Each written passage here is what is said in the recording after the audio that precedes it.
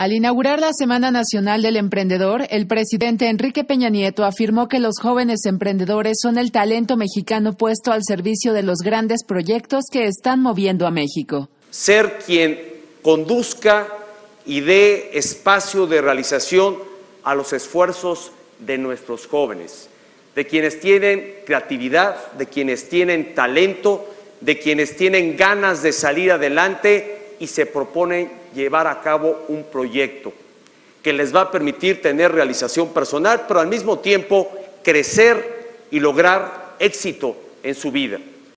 El primer mandatario destacó el apoyo que ha brindado el Instituto Nacional del Emprendedor en los cuatro años de la presente administración.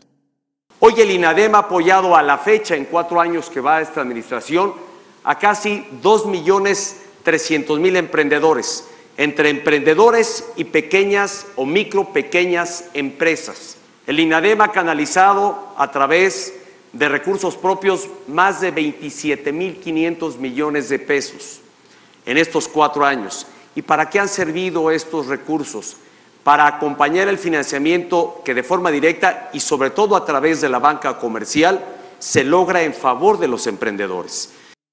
Ante jóvenes, el presidente Peña Nieto aclaró que este esfuerzo no lo ha hecho solo el gobierno federal.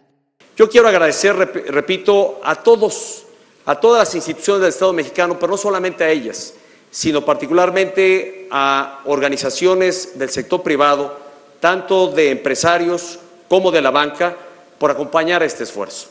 Porque esto significa que en sus empeños está el ir construyendo una nueva generación de empresarios que sin duda estarán moviendo a México. Con información de Araceli Rivera, Notimex.